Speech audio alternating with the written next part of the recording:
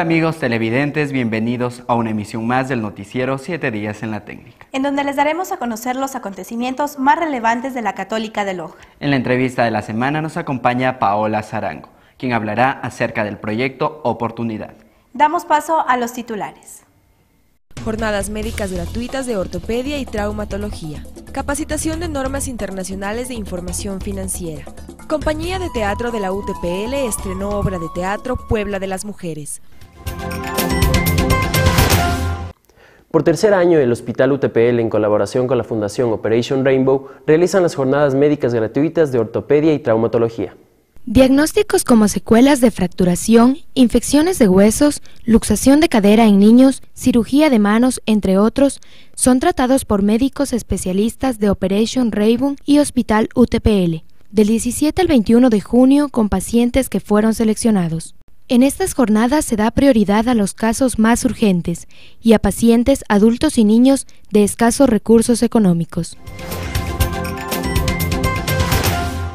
Estudiantes y docentes de la titulación de Contabilidad y Auditoría recibieron capacitaciones sobre NIFS. En días anteriores se desarrolló el curso sobre normas internacionales de información financiera, el cual pretende adiestrar a los estudiantes y profesores del área de contabilidad y auditoría. Son normas aplicables al, desempeño del contador, em, se aplican pues para desarrollar la contabilidad de las empresas y es un campo eh, nuevo, digamos, tienen un grado de complejidad eh, que ha merecido pues que tengamos que a nuestros estudiantes especialmente prepararlos eh, porque ellos van a necesitar en su desempeño profesional. Las NIF son normas aplicables en el desempeño del contador para desarrollar la contabilidad en las empresas y negocios. Es un campo nuevo y complejo el mismo que necesita estar preparado para ofrecer un buen servicio profesional en esta rama. El temario que se utilizó acá en el curso fue implementar o divulgar las normativas vigentes actualizadas que emite la Superintendencia de Compañías para conocimiento de los alumnos. En ese sentido se promulgó, por ejemplo, la NIC número 1, estados financieros, la NIC 2, inventarios, la NIC 16, propiedad, planta y equipo, con el enfoque de, conocer el tema de valor razonable, valor de mercado y aplicar los ajustes necesarios para la profesión. Espacio del American Corner de la Biblioteca de la UTPL se realizó una videoconferencia sobre el tema Aprovechar las redes sociales para expandir tu negocio.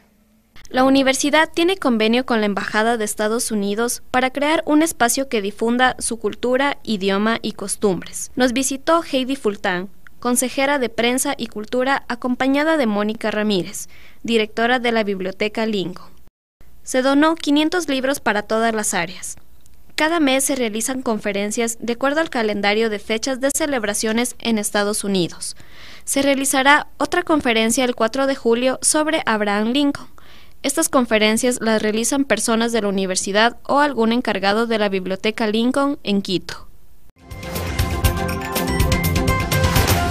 La compañía de teatro de la UTPL, próxima a cumplir ocho años, llevando al público lojano lo mejor del teatro clásico, en esta ocasión nos presentó Puebla de las Mujeres, obra de teatro de 1912 de los hermanos Álvarez Quinteros.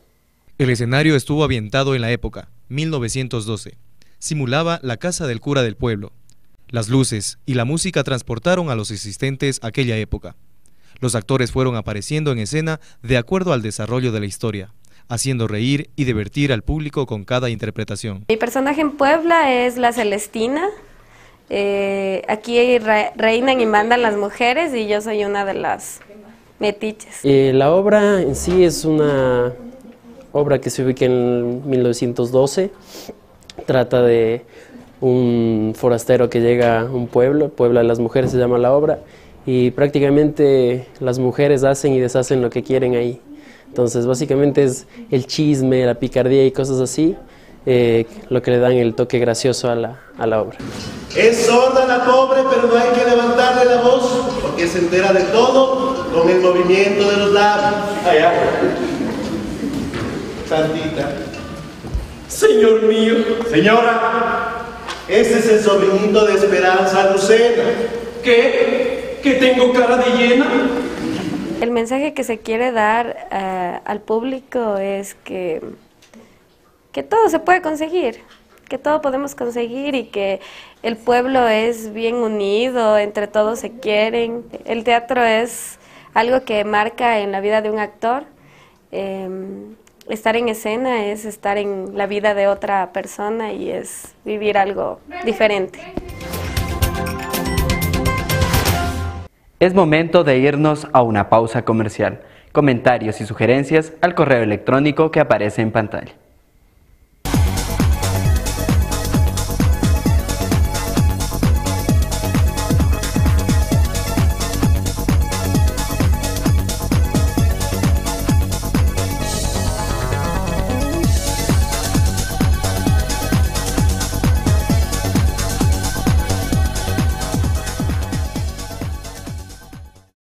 La UTPL, dentro de una etapa de innovación tecnológica, invita a participar en el programa de libros digitales e-Books, el cual consiste en la entrega de material en formato digital, tanto de las guías y libros de las diferentes carreras que ofrece la universidad. El programa está dirigido a los estudiantes de tercero, cuarto y quinto ciclo, los cuales recibirán una beca del 50% para la compra de un equipo electrónico, tablet facilitando el acceso a los recursos electrónicos y los servicios tecnológicos que la UTPL ofrece. EVA, videoconferencias, biblioteca virtual, servicios en línea, etc.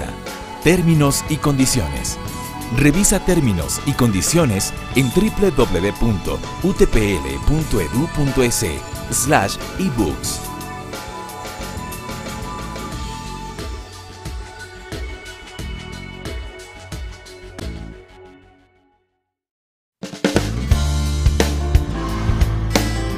Hay un lugar donde vas a entender por qué cambiar al mundo. Vas a comprender mil teorías. Vas a ver cómo tus ideas son tomadas en cuenta y evolucionan.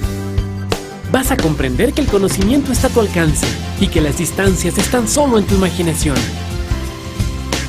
Vas a aprender lo importante que es pensar en los demás.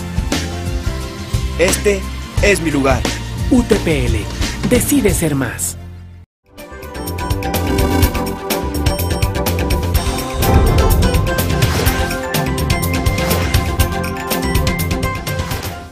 Tal amigos televidentes? Mi nombre es Alain Chaviano y estaré presentando esta noche el segmento La entrevista de la semana. Y en esta oportunidad tengo el placer de presentarles a Paola Zarango, quien nos estará comentando acerca de un proyecto denominado Oportunidad. Buenas noches, Paolita. ¿Y de qué se trata este proyecto?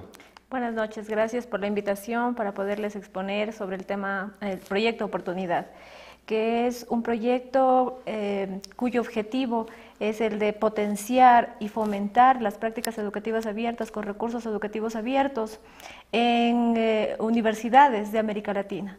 Para esto eh, se han conformado un grupo de varias universidades de América Latina y de Europa auspiciadas por la Comisión Europea precisamente para eh, propiciar este proyecto.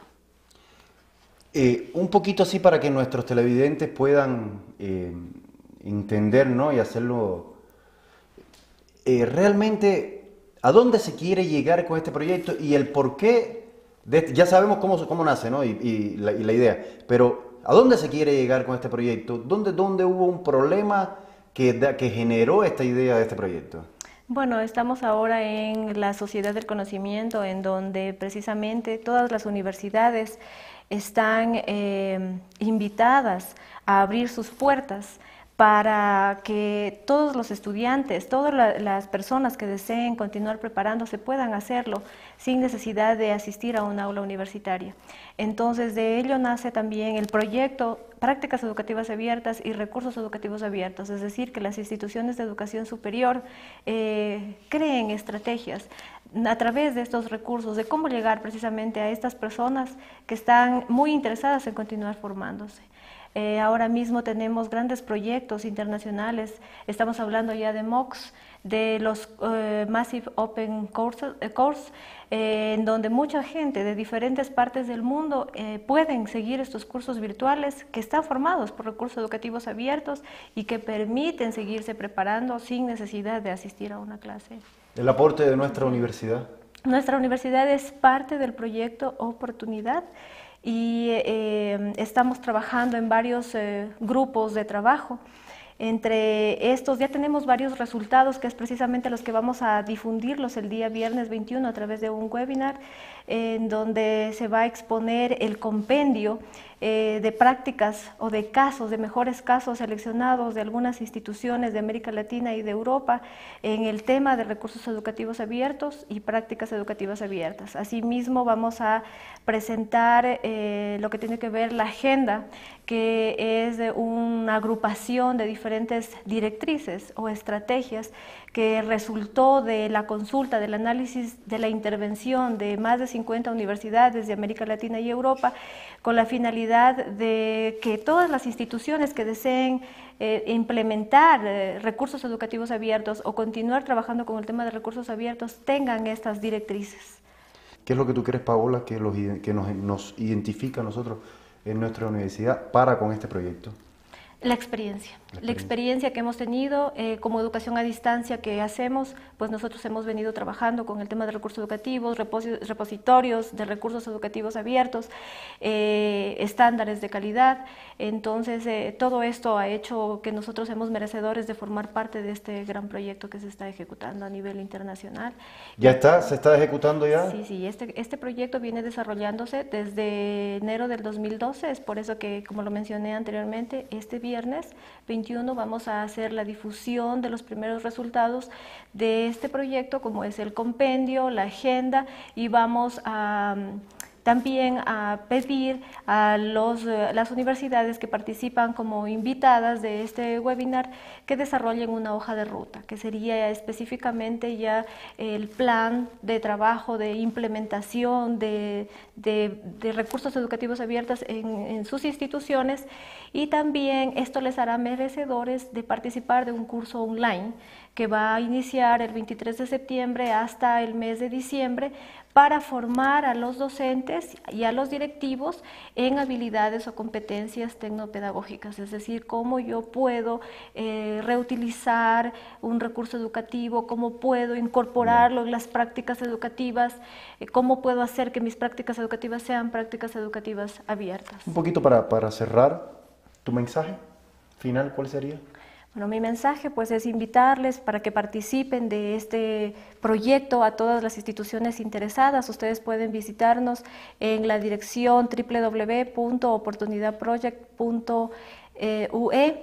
Ustedes pueden encontrar ahí toda la información eh, detallada del proyecto Oportunidad. Les esperamos a ustedes. Hago la cordial invitación para el mes de septiembre. Vamos a tener el día jueves 12 de septiembre un encuentro internacional precisamente para discutir, para reflexionar, para analizar eh, en temas relacionados a prácticas educativas abiertas, recursos educativos abiertos, MOOCs, todo esto se va a llevar a cabo aquí en las instalaciones de la Universidad Técnica Particular de Loja. Están cordialmente invitados. Muchísimas gracias, Paola, pero bueno, el tiempo ya no da para más. Eh, Paola Zarango nos estuvo comentando de lo, acerca de lo que se viene, este magno proyecto llamado Oportunidad. Conmigo, hasta la próxima semana. Que tengan todos muy buenas noches. Gracias. En el Consejo Superior de la UTPL, este viernes 14 de junio se realizó la firma de convenio Marco de Cooperación Interinstitucional y Académica entre la UTPL y la Universidad Técnica de Machala. Este convenio permitirá establecer relaciones académicas, culturales y científicas entre las dos instituciones, que contribuyan en los campos de la educación superior, la docencia, capacitación, transferencia de tecnología, extensión y servicio. Espero que sea muy fructífero este convenio y que nos lleve a poder hacer mejor no solo a nuestras instituciones, sino a los lugares donde nos encontramos. Porque si dicen que, que las universidades son alma mater, alma mater significa madre nutricia. O sea, tenemos que alimentar el lugar en donde estamos insertos. Esta firma de convenio para nosotros, para ustedes, no solo que abre un camino para que en función de las fortalezas de cada una de las universidades puedan unir para trabajar en grupo.